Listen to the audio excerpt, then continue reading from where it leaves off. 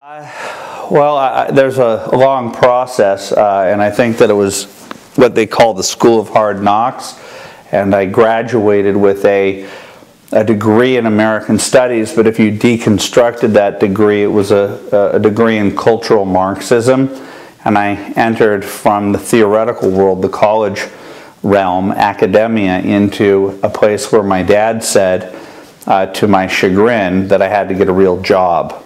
And when I started to work for other people, um, it became very difficult for me to justify my attitude, which was that the employer owed me the job.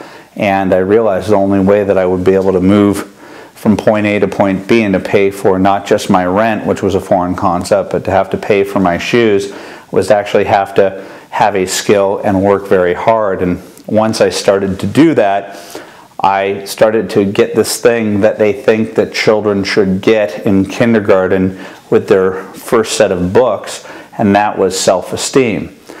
You get self-esteem just for showing up. You get self-esteem for being gay, straight, or whatever. You get self-esteem for being, you know, black, Hispanic, whatever. That's how they're teaching people in the schools these days. And I realized, hmm, first place I got real self-esteem was paying for my shoes. And that's how I, I did it. And, and I started to listen to talk radio. And I started to have radio professors on the AM dial, like Rush Limbaugh and Dennis Prager. And they were the antidote to my college pr professors who were nihilists. And so I became a conservative over a very uh, important group of years, uh, probably 1991 to 1996 when I voted for my first Republican, uh, Bob Dole.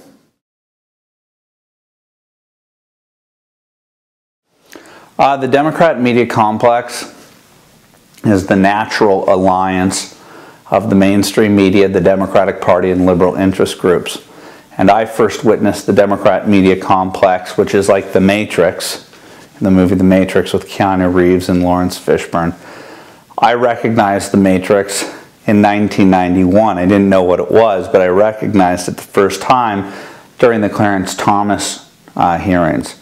And that was when ABC, CBS, NBC, the New York Times, and the Washington Post chose to put Clarence Thomas on the hot seat and allowed for Caucasian, white, powerful senators to judge a black, the second black the potentially second black Supreme Court justice.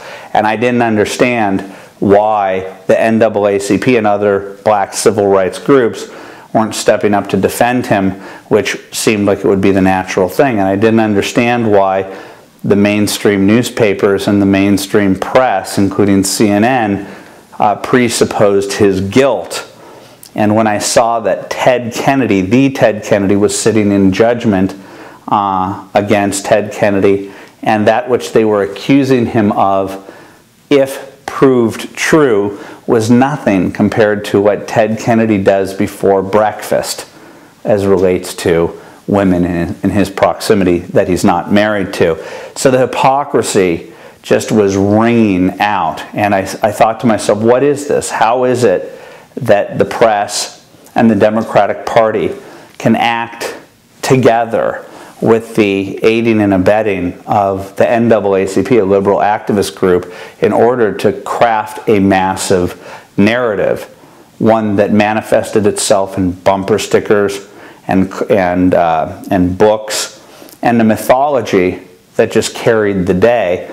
And I watched the hearings. I wanted Clarence Thomas, as then a default liberal, to be taken down. And I watched the hearings, and by the very end of those hearings, I realized that there was something wrong here. And when did this start?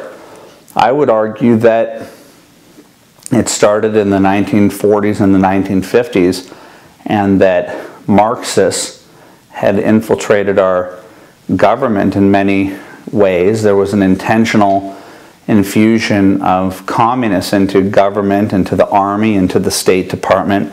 But the most effective intruders happen in the cultural realm, and I write about it in Hollywood, uh, in, in uh, Righteous Indignation, the Frankfurt School, Antonio Gramsci, Herbert Marcuse, uh, Theodore Adorno, a bunch of these guys came to America and they came from a mindset that translated Marxism uh, from economic terms into cultural terms.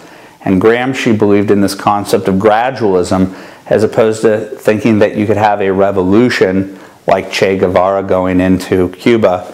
Instead of having a revolution in America, that they would have to have a long march through the institutions, and those institutions are academia, the mainstream media, uh, and Hollywood. And I would say that from the 1940s and the 1950s, there has not only been a concerted effort for a cultural push through those institutions, I would say that conservatives who have focused mostly on politics uh, never challenged that long march through the institutions. And so for the last 60 to 70 years, the left, without uh, a counterattack, without an attempt to push back, has allowed for the culture to be completely taken over by a left of center mindset. And I would argue that the majority at ABC, CBS, and NBC, and the majority in the humanities departments uh, don't even understand why they believe the way that they believe.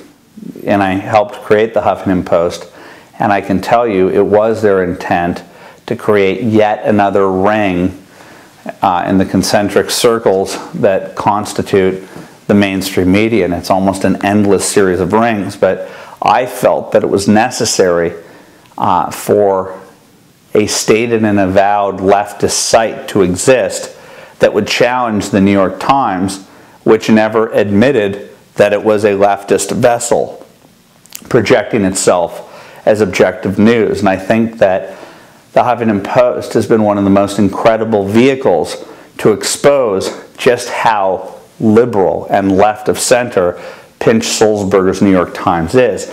And now I think that the left is now having to grapple with the fact that they've been exposed, that the New York Times has the exact same political DNA on its front page and in its news section as the Huffington Post, an avowed left of center site, which has the same exact DNA as Media Matters and other George Soros, John Podesta run organizations.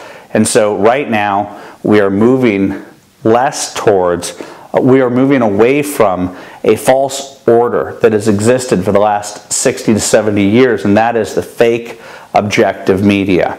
There never was objective media. It was left of center media that was crafted as a form of propaganda to tell the people at home through CBS, ABC, NBC, Walter Cronkite being a perfect example. We're just giving you the facts. That couldn't be further from the truth. And being at the Lincoln, I mean, being at the Lincoln, being at the Nixon Library, I think that uh, Richard Nixon, to a huge extent, understood that he was under assault from day one. You know, that Woodward and Bernstein uh, you know, were 100% motivated to get a scalp that happen, happened to be a Republican. And I don't think that Woodward and Bernstein would go as hard after Nixon if he had been a Democrat. In fact, from what I've known about investigative journalists, is that they are part of the aiding and abetting of the cover ups of scandals that go against the Democratic Party. We are now moving towards a place where we have left of center websites, we have right of center websites. It doesn't mean that Woodward and Bernstein aren't going to have a scalp, that they're not going to have a future uh, Watergate. It's that we now know that the reason why they felt so compelled to go after that uh, story was there was politics behind it. And I'm totally comfortable with that. I'm comfortable with a more transparent media because very few people can come to a story, can come to politics uh, as a straight stenographer. Most people are biased and are motivated to expose things.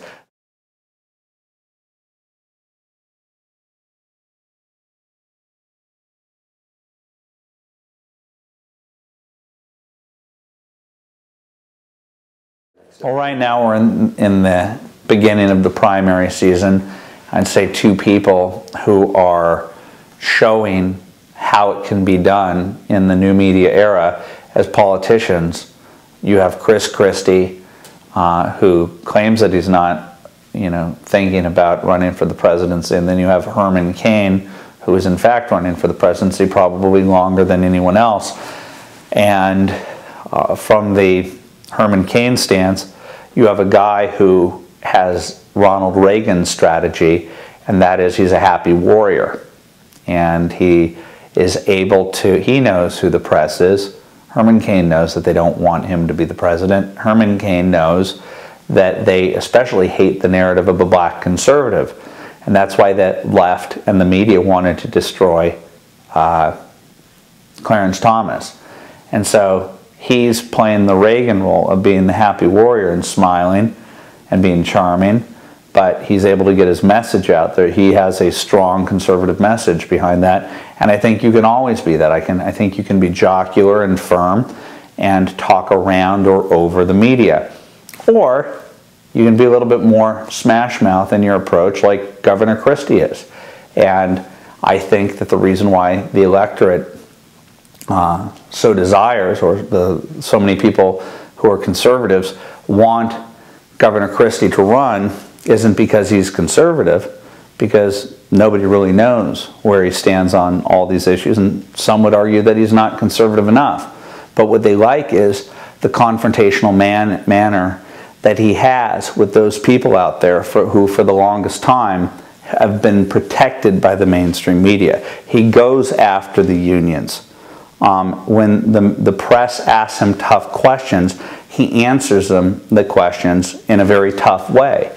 And I think people, you know, appreciate people like Chris Christie who, who don't defer to the media, don't defer to their bias, and challenge them. And I think that you can see in Newt Gingrich in the last few debates, he's challenged the media, and that gets a lot of traction. And so if you look at the polls, you look at Gallup polls, people distrust the media more than they distrust Congress, and Congress has world class historical lows. It's like in the 30s, maybe the 20s, maybe even the teens. People don't trust the media. And so I think that the politicians, especially conservative ones, need to be incredibly aggressive, not just against their political foes, but their foes in the media.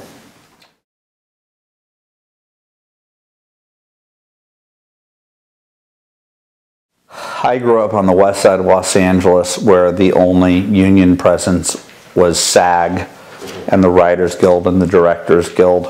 And I wouldn't say that this is your typical on the waterfront, uh, other than the fact that it was, you know, uh, that it was Hollywood and it was made in Hollywood on the waterfront. But I don't come to my politics with a prejudice against unions. Um, I've just always assumed that unions were a necessary means to an end.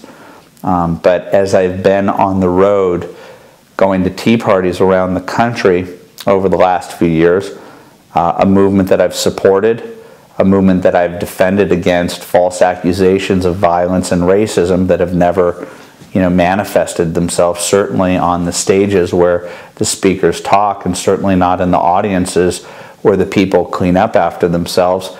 And from city to city, I found myself walking into Tea Party events, whether they be in arenas such as in northern suburbs of Chicago uh, in 2010, or whether it be you know on, on the outskirts of a, a, Tea Party in Arizona, I found myself confronted by, or or or most notably, in Searchlight, Nevada, uh, in early 2010, I've been confronted by unions dressed in union garb, organized by either Organizing for America, formerly Obama for America, or by the Democratic Party itself. So you have unions acting as astroturf protest against Tea Parties, uh, against Tea Parties, and I've watched them uh, be rude, violent, um, and uh, and and quite frankly, trying to start and agitate something with these peaceful protesters who are simply asking for limited government, less taxes, more government accountability, yet the unions are threatened by this group at such a level that they're testing the power of the Enmons decision and they're attacking people. They're coordinating with the Democratic Party to attack people. And so in the last two years, this light-hearted guy from West Los Angeles has said, these are bullies, Richard Trumka, Jimmy Hoffa, speaking in the language of violence, acting caught on tape on vi violence, attacking people. I'm standing up against it. And I was asked about said violence at an event in Lexington, Massachusetts. And I said they're pushing people so hard. And if the lawlessness is going to be met with no Justice Department arrest, especially when it gets to the point in Washington state where unions protesting against a company took people hostage and nobody was arrested. At a certain point, the lawlessness of it all, the lack of the uh, rule of law being honored, puts the American people in a position where if they're attacked, they're going to have to attack back. That was my point.